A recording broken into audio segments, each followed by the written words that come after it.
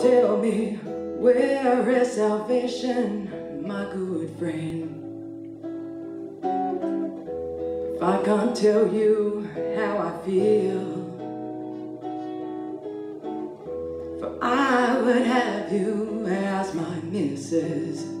I honestly didn't really know anyone growing up in Riverlands that was gay. Or I, I didn't understand the whole concept of gay myself until perhaps I was in my in my teens. And uh, other than that, I had never really heard heard the term, and it was rarely spoken about. You just don't see it in, in any media. I was fortunate enough to have a very close, good friend who was gay, um, who I worked with, and she was um, a massive support for me. And when something feels so good, why wouldn't you want more? I had stopped seeking the source of happiness in myself and was addicted to sex. Learning about Buddhism and practicing meditation changed this as I discovered in my physical sense to feel content in my own energy. But this grew so strong that it led to my desire of wanting to pursue Buddhism more intensely, and I craved celibacy now instead of sex.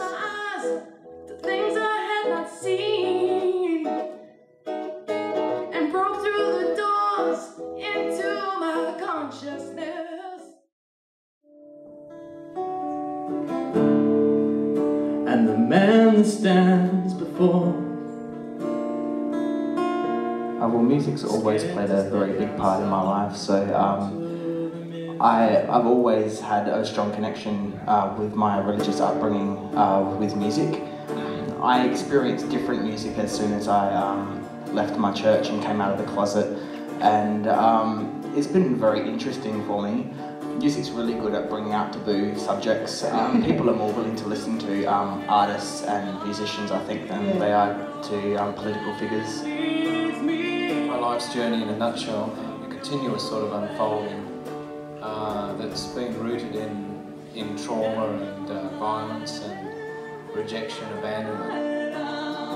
Uh, well, there isn't a very strong bisexual, identified bisexual community as such, so I get a lot of support from the GLBT community and it's still releasing and very freeing just, just to be out. My art used to be a therapy, used to be a cathartic process. I evolved in unravelling the, uh, the confusions and the issues to do with sexuality. Um, my art expressed that.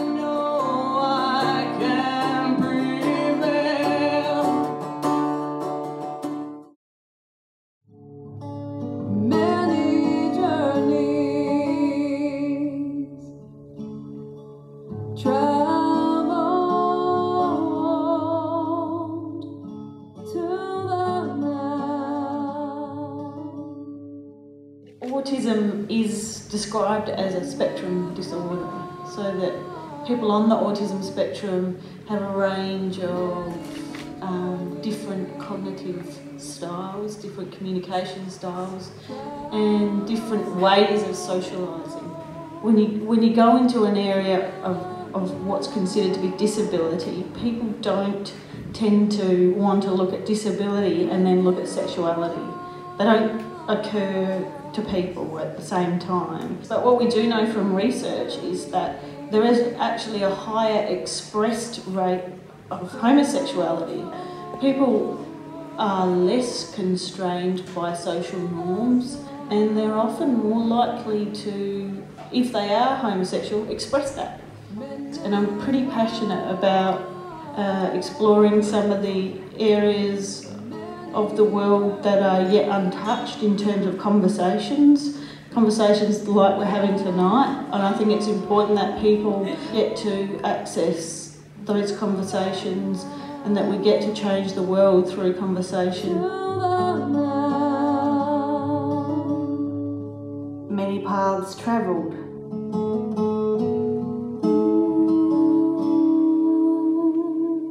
To the now.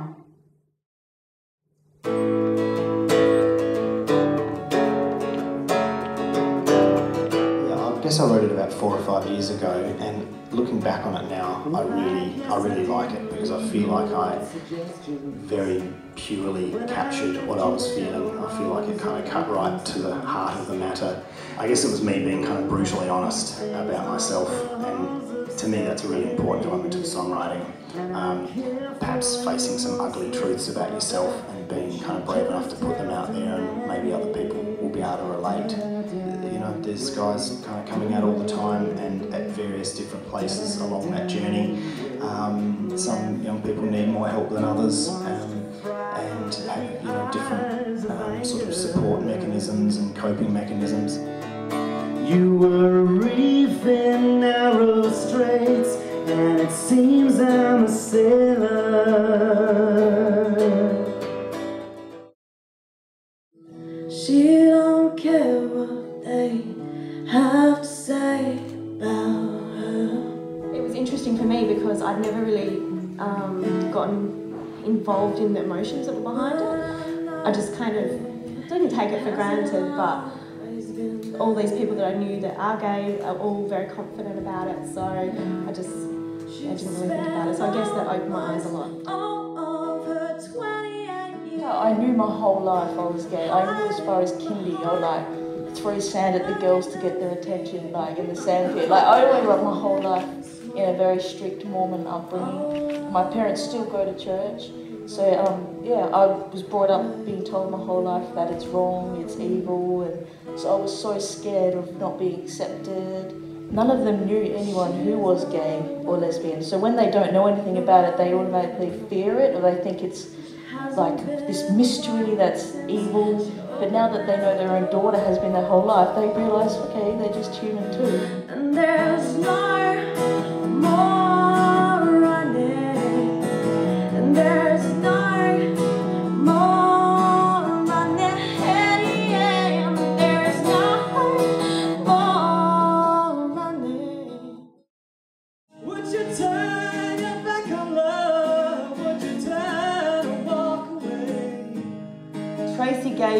song which was about being in love and taking a risk about being in love. And to be quite honest, I was like, bah humbug, that love shit, oh my god.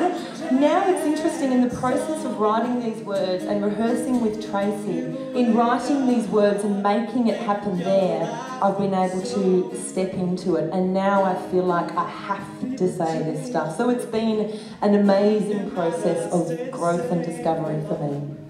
You have to accept yourself before people accept you. But there's a process to do that in the first place anyway. Um, and life is evolving. There's changes and chances and opportunities and the songs kind of take the opportunities, take those chances, otherwise you're not going to evolve, you're not going to change, you're not going to grow.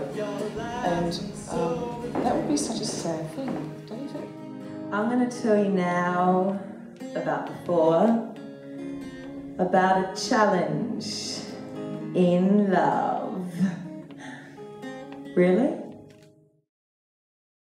Thinking back to all of her dreams as a kid. When I came to writing the piece, it was really hard because I, I had, you know, four verses and a chorus to capture this woman's amazing choices and her courage. And I, I felt a bit flabbergasted because, you know, the vocab only goes so far. Oh yes, they wanted me to become a lawyer. I didn't actually ever rock up, I just sat in the courtyard drinking coffee and smoking. so I, I felt like I was hiding a big secret, so I can relate to this whole kind of Yeah. out thing in a way because my HECS debt was piling ever higher and I was getting further detached from my true path, so it was, it was hard. Last time I was still living at home with my family, um, heterosexual family, in a heterosexual relationship, but we were just sharing a house. We'd have three kids. He was shocked when I actually said it aloud, but he wasn't surprised. I've got um, straight friends, or seemingly straight friends, who now spill their stories all the time to me, like bisexual stories or longings or all sorts of things, different things they've done in the past. Um, stories are everywhere, and so I've written quite a few of them into songs. Finally, you